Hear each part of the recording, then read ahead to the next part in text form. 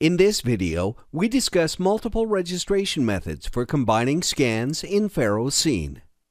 The registration methods are Correspondence View, Target Registration, which includes spheres, checkerboards, and manual targets, Split Correspondence, Top View, Cloud to Cloud, Start-Stop Scan Placement, Survey Control, and multiple clusters with multiple methods. The first method, Correspondence View, is accessed by right-clicking Scans from the workspace, hovering over View, and clicking Corresponding View.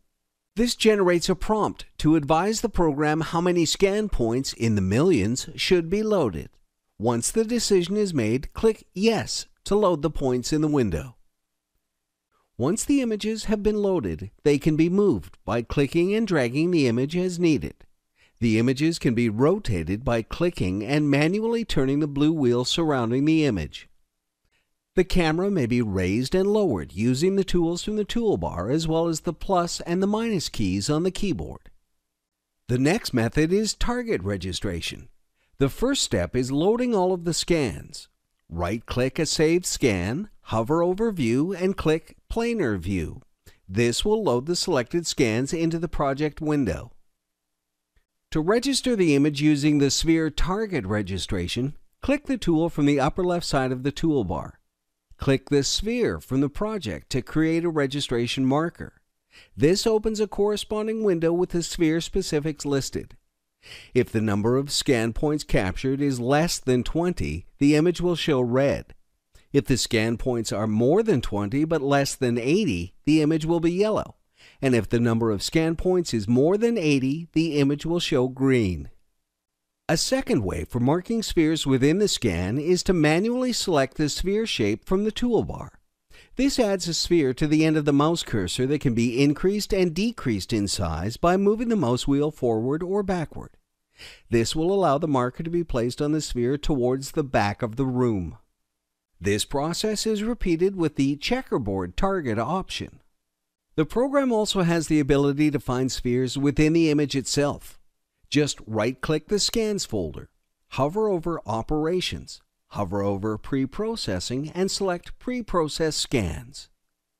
Select which shapes the program should locate and click OK. Review the selected spheres by right-clicking one of the scans, hovering over View, and selecting Quick View. To register the scans using the collected points, right-click the Scans folder, hover over Operations, hover over Registration, and click Place Scans. In this example, target-based registration is selected. Click OK.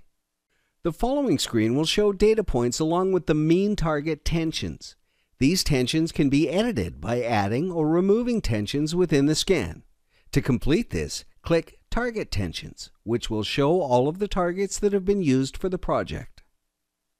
To remove a target, determine the target to be removed. Right-click the target and click Set Anti-Correspondence. Remember to click Apply before exiting the screen and the target will be removed. This can be done with multiple targets, leaving enough for the registration to be completed. If needed, the anti-correspondences can be used to remove a correspondence.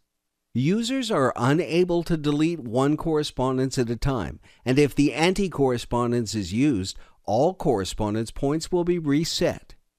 To complete this action, right-click the Scans folder, hover over Operations, click Correspondences, and click Delete Correspondences. The anti-correspondences can be deleted from this screen.